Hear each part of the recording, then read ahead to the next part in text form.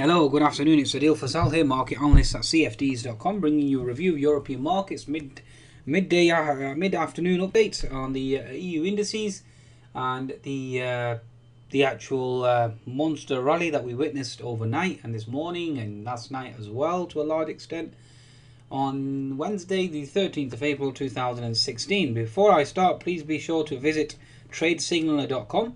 You can certainly uh, catch all my analysis on there, which is a new app via cfds.com.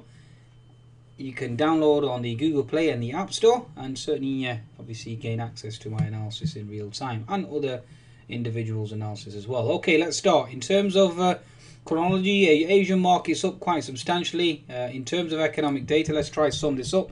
We had Chinese data, obviously, um, stronger than expected overnight. That obviously triggered off the uh, potential move. Having said that, though, my interpretation and my understanding as uh, thus far is that the uh, Chinese trade balance, yes, it was slightly lower than expected, but the biggest concern is um, the Chinese imports. Uh, you had the exports obviously coming in a whopping 11.5% versus the expectations of 2.5, which obviously is impressive, and that's obviously sent the uh, well initially the Aussie and the um, the Kiwi certainly short squeezed prior to that. Okay, you had imports actually worse than expected. Well, not worse, but basically coming worse. Did come in bad at minus 7.6%. So certainly to a large extent there, you had the uh, Chinese data really triggering off, and uh, I think a lot of that was done in advance because if I bring up the US markets, you can see that uh, uh, we were we started short squeezing well in advance. So it certainly is suspicious given the fact that uh, the economic data certainly came in better than expected. Somebody obviously knew what was exactly exactly what was happening. If I bring up the Nasdaq, and you'll see with regards to the Nasdaq, you can see in the daily chart we've broken out this rising contracting wedge pattern. On the 60 minute chart, you can see that we'd flushed, we flushed, flushed as low as 4436 before we rallied a whopping 60, 70 points higher. And now we're another 40 points higher and we're testing that 4515 uh, zone at the most, sorry, 4530 zone. So we're back at the highs. So certainly is suspicious, certainly circumspect from my perspective and it doesn't make sense in terms of the uh, the actual well the from the US markets perspective anyway okay? Especially given the fact that the USD JPY dipped uh, as low as 108 uh, yes you could argue that um, the hawkish rhetoric from Fed members yesterday caused the euro to collapse and caused the USD JPY trade to uh, reignite and that obviously triggered the rally adding the Chinese data and obviously you have one hell of a cocktail uh, i.e., one hell of a short squeeze, and that's exactly what we witnessed this morning. Okay, adding the fact that obviously banking stocks coming in stronger than expected, so certainly somebody's front running here. Okay, somebody's definitely front running. Yesterday, somebody caught or had a whiff of the Chinese numbers. They obviously short, they obviously uh, started to buy in then or cover their short positions, and that's exactly what ensued. We had this perfect H&S formation. We were below the neckline. Daily chart obviously had broken below and abracadabra, the invisible hand comes in again, and we short squeeze higher quite substantially. Hmm, okay, suspicious, I don't know. Call it what you want, okay? Uh, from my perspective, certainly smells fishy, and somebody definitely had inside information. Impossible not to, uh, okay, from my perspective. So in terms of the S&P 500, if we're looking at a 60 minute chart, you can see that we filled the gap here, and then obviously the market reversed.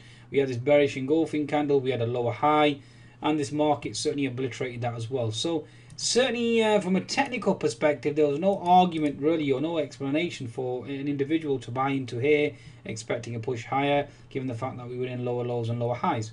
The only reason why you'd buy here with such conviction and push the market higher is if obviously you had inside information.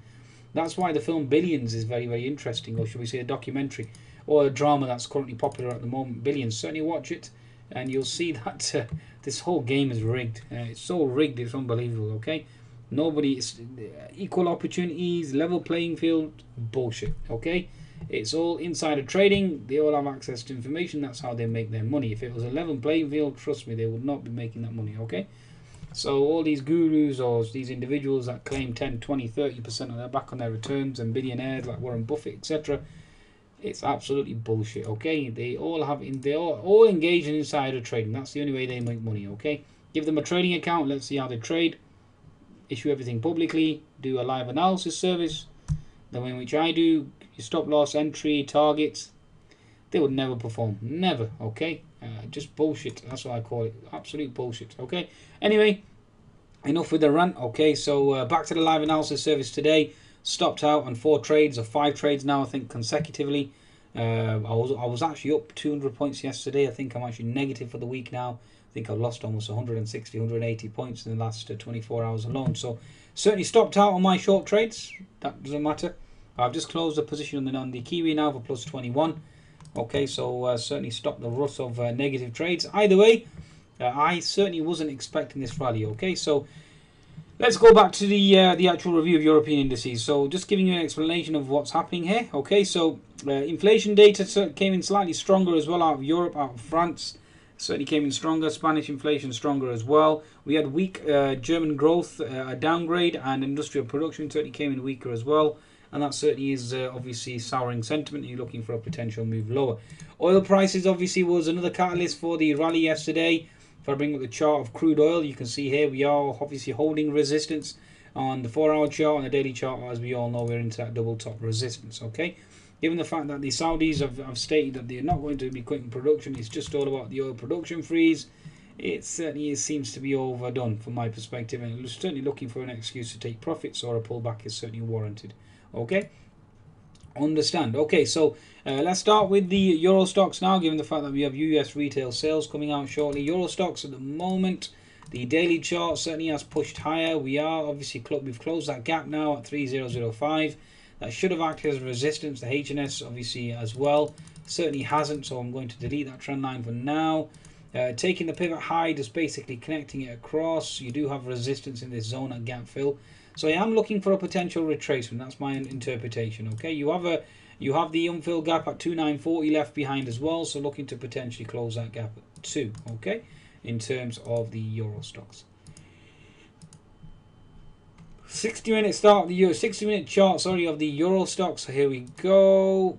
What we're doing now is trying to connect the dots together. Certainly the market has pushed higher very, very impressively. As you can see, that diagonal trend line was supposed to come into play. The 200 MA was supposed to come into play and hold this market down along with the gap fill resistance. That certainly has been negated. Okay, so you do, you've left an unfilled gap below. Okay, this certainly is this move itself certainly looks exhausted from my perspective and you are looking for a potential reversal. Now, looking at this inverted head and shoulders formation, folks, let's just calculate the actual target and then we should know whether or not this uh, rally itself has uh, exhausted itself. So that's your left shoulder, your head is here, you're looking for the right shoulder. Let's have a look here. IHS, here we go. So you're looking at the neckline at 2920 minus you're looking at 2860 which basically equals 60 points. So you're looking at 2920 as potential target on the upside. And if I'm correct, sorry, it's uh, 2920, uh, 2860, so uh, 2980, sorry, so it's a 60 point. I am right here, aren't I? Yes, not 80 points. So 2920. So yes, 3000. Sorry. Okay. Sorry about my mathematical skills there. Okay, so 3000. So basically, we're into uh, uh, basically overbought territory. Okay, especially given the, the RSI, as you can see there, peaking above the uh, the key zone. Okay, so above the 70 zone, you have an unfilled gap at 3040. But from my perspective, it certainly seems very unlikely. Again, this zone was very important. I actually went short at this zone, and uh, the market certainly pushed higher. So at this current juncture, you are looking at uh, no man's land. Having said that, there is a zone here that's quite important. So you have uh, this uh, 3020 zone as potential resistance. Again, I am actually short the CAC at the moment. I'm short the Nasdaq. I'm short the S&P as well. So certainly heavily short in this market at present. Okay, so that's a zone to uh, certainly watch out for. Okay, and the IHS formation has completed, and therefore you are looking for a short squeeze. Okay. Right, so Euro Stoxx certainly into resistance. Looking at the German DAX now, let's just bring up the daily chart of the German DAX. And you'll see straight away that we're into gap fill resistance. Okay, so certainly looking for a retracement there. 60 minute chart certainly seems to be overdone. The gap fill certainly has closed. There is another unfilled gap at 10.040. Again, very unlikely given the fact that we've had uh, weaker German growth.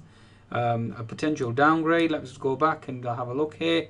OPEC cuts 2016 world oil demand. So again, that's bearish. Industrial production, bearish. Uh, let's have a look here.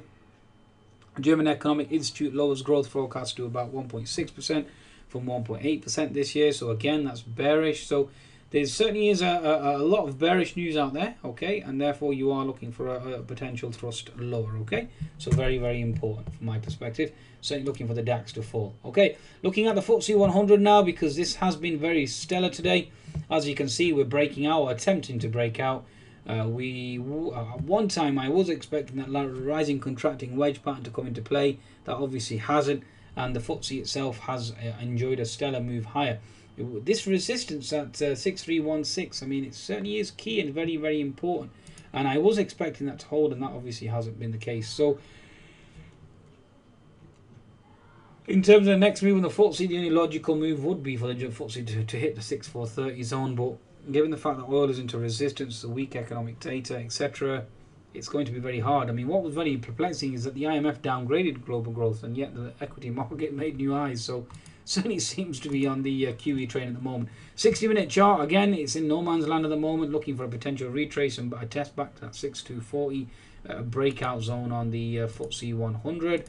10 minute chart at the moment, so let's have a look. Retesting the, the potential highs. The high has been 6340, so looking for a potential uh, a pullback here now and uh, looking for a retracement and, and, a fall potentially lower. So that certainly is a zone that you're looking at. And then you have the unfilled gap left behind as well at 6240. So again, that certainly needs to be revisited from my perspective. Okay, right. Having said that, the FTSE 100 it still remains bearish given the fact that the Aussie, if I bring up the chart of the Aussie, uh, if I bring up the daily chart the Aussie, you can see that we're certainly holding that uh, double top, triple top uh, resistance okay on the FTSE 100 on the Aussie sorry and therefore that certainly is indicated uh, as weakness for the FTSE 100 itself as well okay.